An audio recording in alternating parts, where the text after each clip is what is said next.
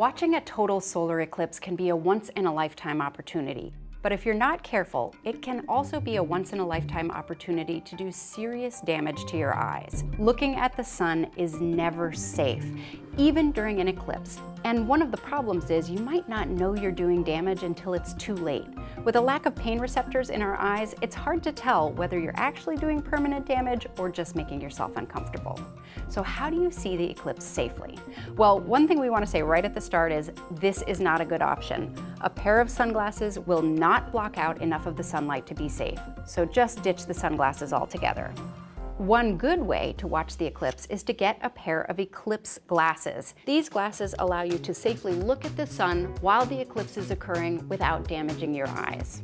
If, like me, you wear glasses and those aren't very comfortable, you have options too.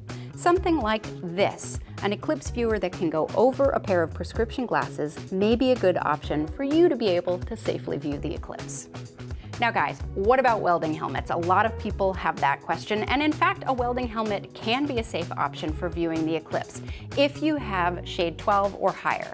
Now, if you don't know what shade your welding helmet is or what I'm even talking about, you're not a good candidate to wear a welding helmet during the eclipse. Perhaps you're a budding photographer or astronomer and you want to take photographs or see the eclipse through a pair of binoculars or a telescope. You still should not be looking through those lenses without a filter. So you're going to need to get a separate solar lens for your camera or your binoculars or your telescope. And even in fact, for something like your cell phone, you could damage your cell phone by taking pictures of the eclipse without a lens like this. So something like this can fit easily over your cell phone so you can take pictures. That being said, cell phone pictures rarely come out very good, so if you're taking pictures with a cell phone, you might just want to put it back in your pocket and enjoy the experience of a lifetime.